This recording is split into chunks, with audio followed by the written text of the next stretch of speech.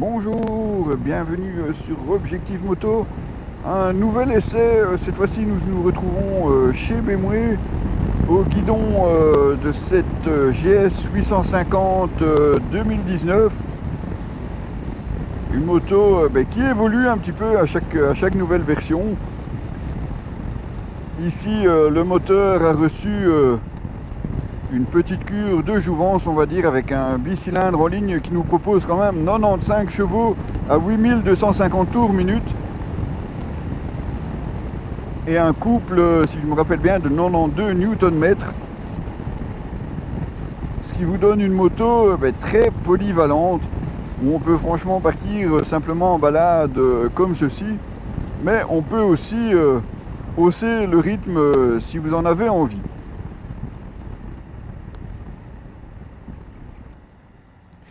Alors le tableau de bord que vous avez ici euh, devant vous, ce n'est pas le tableau de bord euh, d'origine, puisqu'il s'agit euh, du kit Connectivity, on en reparlera un petit peu plus tard. Donc c'est cet écran TFT 6,5 pouces ici devant vous, qui a d'autres fonctions, mais ça comme je vous disais, je vous en parlerai un petit peu plus tard. Revenons un peu donc à cette GS 850 avec ben, son nouveau moteur, comme on vous le disait avec une puissance vraiment euh, suffisante. Alors deux séries, vous avez droit euh, à deux modes de conduite, le mode Road et Rain. C'est assez limité puisqu'il vous faudra euh, prendre dans les options pour pouvoir avoir accès aux autres modes. Donc vous le voyez, vous avez ici le mode Road, mais vous avez aussi en option donc le mode dynamique et vous avez aussi un mode enduro. Chacun évidemment changeant la façon euh, dont réagit euh, la moto et les différentes aides euh, à la conduite. Alors côté des aides à la conduite, vous avez l'ABS forcément, vous avez la SC qui est un contrôle de stabilité, et puis le reste, eh c'est en option. Donc vous avez forcément les différents modes de conduite. Vous avez l'ESA, ça c'est pour les suspensions, où vous pouvez choisir le mode road ou dynamique. Ben, le road, simplement, euh, quand vous voyagez euh, peut-être sur de plus longues distances ou sur des routes euh, en mauvais état, le dynamique, plutôt quand vous voulez vous amuser.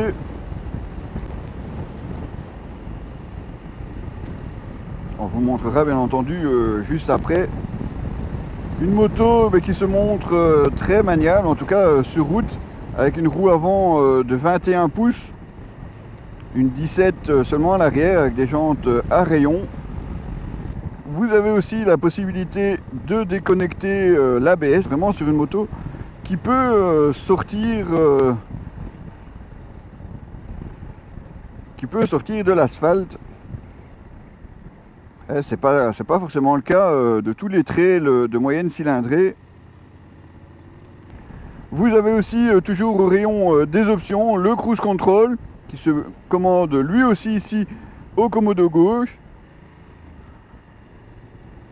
Vous avez aussi euh, au rayon des options euh, le feu LED à l'avant qui fonctionne aussi euh, en daylight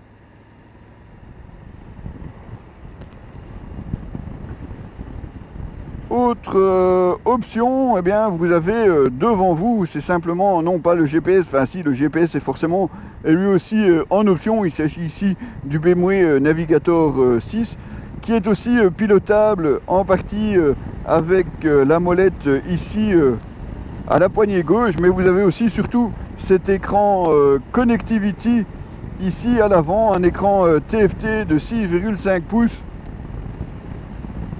et c'est pas juste un bel écran, c'est vrai que c'est très beau et c'est euh, surtout euh, très facile à lire en roulant. Ça se limite pas à ça en fait, hein, parce que vous avez euh, derrière cet écran Connectivity une vraie connexion avec votre smartphone. Il suffit à ce moment-là ben, d'installer l'application. Et ben voilà, je vous montre un petit peu comment ça fonctionne. On l'a testé évidemment sur notre euh, smartphone et avec euh, la liaison ici euh, avec la moto. Voyez un petit peu ce que ça donne. Voilà, si vous avez choisi l'option Connectivity, eh bien vous avez déjà ce superbe écran TFT 6,5 pouces, mais vous avez aussi la possibilité de le connecter à votre smartphone. Alors d'une part, ben, pour avoir la navigation, donc ici effectivement ça fait un petit peu euh, double emploi, puisque vous avez ben, le GPS euh, BMW Motorrad Navigator 6, mais vous pouvez aussi l'avoir avec votre euh, téléphone, qui vous donne non seulement pas mal d'informations sur votre moto, mais vous avez aussi la possibilité de planifier un trajet. Dans la planification de votre trajet, vous pouvez aussi choisir, comme vous pouvez le voir ici, itinéraire sinueux, mais vous pouvez bien entendu choisir l'itinéraire le plus rapide ou le plus court, en gros comme un GPS tout à fait euh, classique. Alors une fois que la connexion est faite avec votre euh, moto, vous pouvez transférer votre itinéraire dans le module TFT euh, Connectivity. Donc votre smartphone, eh bien, lui, retourne simplement dans sa poche et on va bien entendu voir ce que ça nous donne à l'écran. Évidemment, tester aussi euh, ce module TFT relié euh, au téléphone. Ah, vous voyez, il donne donc effectivement les indications assez euh, faciles à suivre, puisque vous avez directement les indications de la moto tout au-dessus, donc avec, la vitesse quand même. Et en dessous, eh bien, vous avez vraiment les indications qui vont vous donner euh, si vous devez tourner euh, à gauche ou à droite, avec en plus le nom de la rue.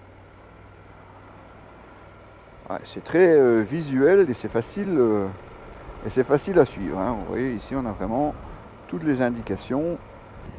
Alors ben, question look, voilà, je vous laisse regarder la moto. On est forcément bien entendu sur une GS.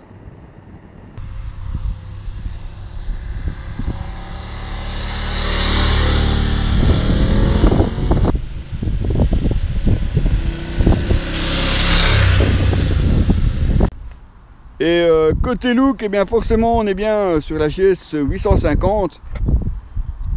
Une moto euh, qu'on reconnaît au premier coup d'œil avec forcément son bec de canard ici à l'avant, mais aussi en option le feu LED Daylight ici qui lui donne vraiment une signature très remarquable. La bulle, ben, comme vous disais, pas réglable malheureusement.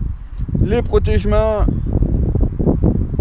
sont en option. Option également les feux anti-brouillard euh, à l'avant. On retrouve aussi euh, la fourche euh, avant inversée 43 mm et surtout cette roue avant à rayon de 21 pouces. Les protections ici sont en option. Par contre, le sabot moteur, lui, est de série.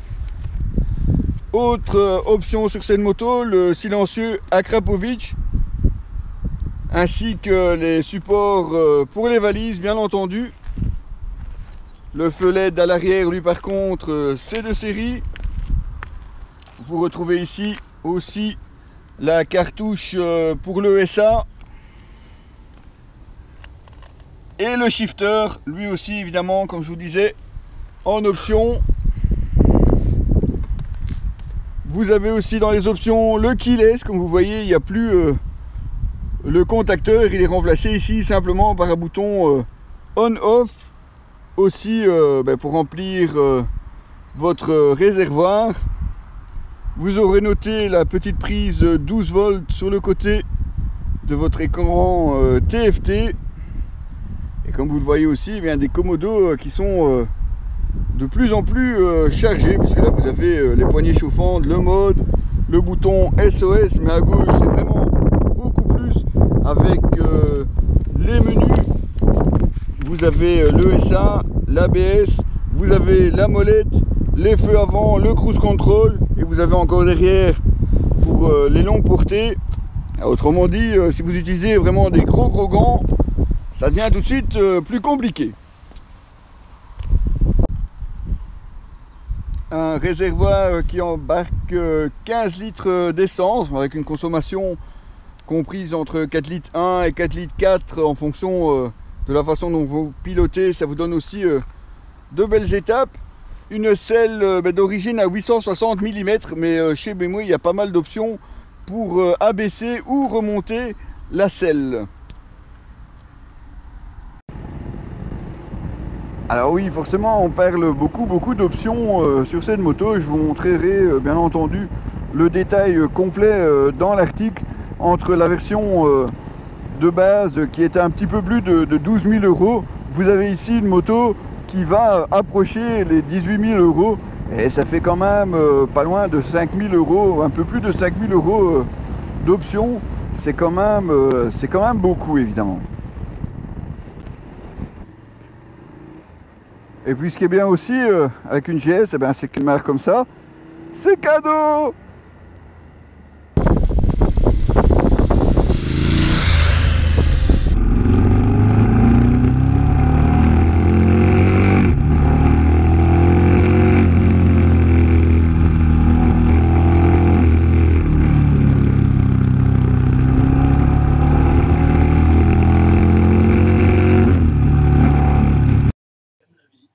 Et puis rien ne serait possible non plus euh, sans une petite aide. Et cette petite aide, bah, cette fois-ci, euh, c'est Miss Chloé qui est venue euh, m'aider pour filmer les séances où vous voyez la moto rouler. Bonjour Miss Chloé.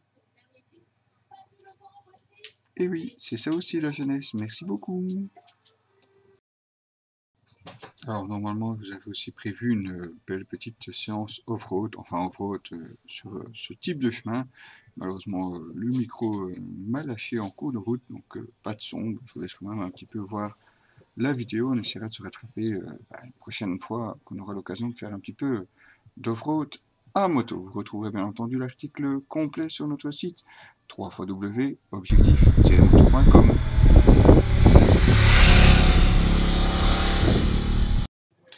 Et puis, ben, forcément, comme j'avais sorti le drone, comme j'avais pu le voir, ben, je vous en remets encore quelques petites images juste pour le plaisir. Ah, il y a vraiment de quoi faire de chouettes vidéos, mais évidemment, ça demandera un petit peu de temps et de pratique.